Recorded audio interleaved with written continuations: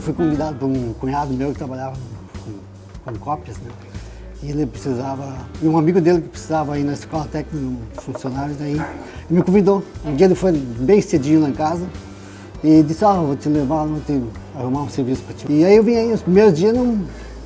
Bah, achei que eu não ia lá, porque fazia cópia de um lado, de um jeito, saía, saía do outro jeito. E eu, ficou uma semana assim para mim pegar mesmo. E no fim gostei, estou aí já desde 94. Eu não sabia nem o que, que era uma cópia, né? E nem entendia de fazer cópia.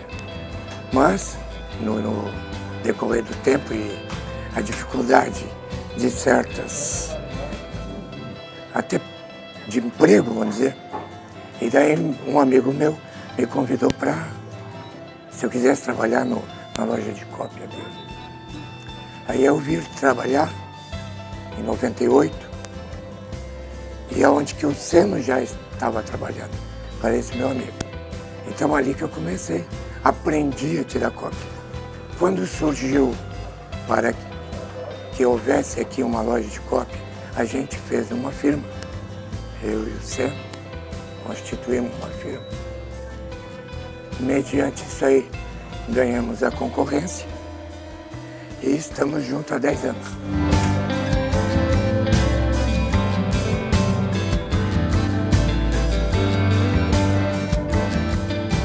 eu renunciei, porque trabalhar com jovem, né? Eu, eu sempre brinco, apesar que eu vou fazer 72 daqui a 12 anos, então não tem. Né? Mas trabalhar com um jovem, assim, participar com eles, e para mim é uma vivência à parte e muito é, gratificante para mim, pela idade que eu tenho, que é 60 anos.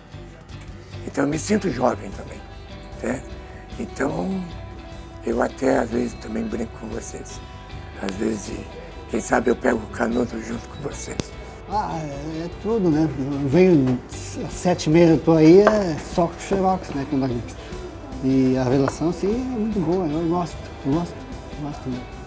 A gente fica 13 horas aí, mas não se estressa com isso.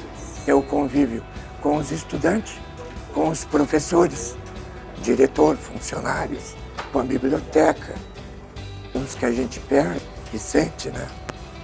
Essa é a nossa vida. É a minha função, né? E, e, e eu, eu, como é que eu vou dizer, é, é, o que eu posso fazer aí, né? Uma necessidade que tenho, estou aí para isso. Né?